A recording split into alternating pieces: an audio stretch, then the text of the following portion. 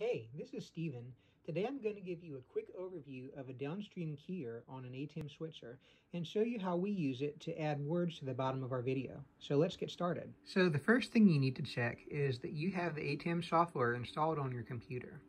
And assuming you do, go ahead and open it. And if your switcher supports downstream keyers, you will see downstream keyers over here in the right section. My particular switcher supports two, but some might support one, or you might have a switcher that has more. So let's look at the basic operation of the downstream key first. So by clicking on air, the downstream key turns on, and you'll see here, when I click on air, it goes on and off. And below it, we have the auto button, which does the same thing, but it does it with a fade transition. So it's set to one second right here. You could set it to two seconds or a smaller time if you wanted to. So just watch when I turn it, when I click auto, it fades on and fades off. Now let's look over here at this section here. So we'll see downstream key and we will open it. And first, let's talk about the fill source and the key source. So essentially, the key source is the image it uses to cut out, to cut out where your your words or whatever it is that you are putting there is going. And the fill source is what goes in the area that's being cut. Generally, they're going to want to be the same, especially for this application we're, we're looking at here where we're just showing lower thirds text. But, you know, they don't have to be. Suppose we set our, so this is what it looks like now. Suppose we set our fill source to one of our cameras. Left camera. So then we still are, are cutting out our text, but we're filling it with an input from a different source.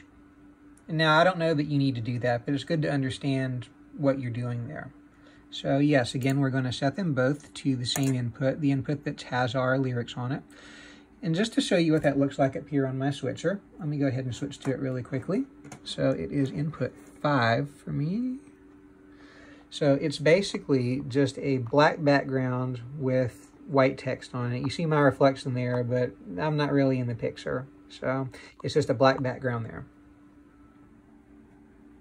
Okay, so let's look at our mask. Mask is very important. So my mask settings right now are negative three and a half, bottom is negative nine, left and right are negative and positive 16. Um, you could adjust this, so this adjusts the area of your screen where the the key the key is keying. So let me go ahead and first of all, I'm going to adjust the clip so I, you can under, you can see what I'm talking about. So now when you look back at my screen here, you see that black area? So that is what I'm talking about with a mask. So if I set it to zero, it's taking up the whole half, the whole bottom half of the screen. I'm going to go back to negative 3.5, and it's only taking up about the lower third. Now I can click this little dot and I can turn the mask off completely, and then my mask is taking up the whole screen. But that's all that's going to do is make my screen darker. So we don't want to do that. We want to make sure that we are using the mask. Now, let me let's look down here again at clip and gain. This adjusts how uh, or, the back basically the background of your of your lower thirds. So as I adjust the clip and the gain, so see watch, that's adjusting the clip.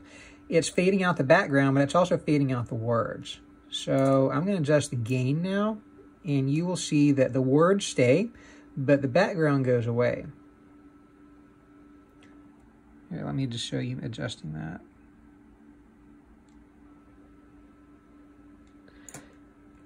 So I'm going to go ahead and I'm going to close ATEM and reopen it so that you can see my default settings. All right, so my default settings for clip and gain are 24% and 47%. 24.1, 47 and a half.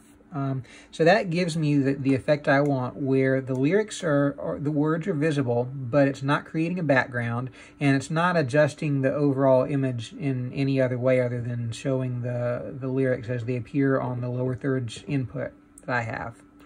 Now, the last thing that's important is you're going to want to, back here on your ATEM software, after you get a setting you like, you're going to want to go to File, Save Startup State. And what that will do is it will save whatever settings you have selected so that when you open ATEM every time, it will go back to all those settings, including the ones we just did. So yeah, that's that. Thanks for watching.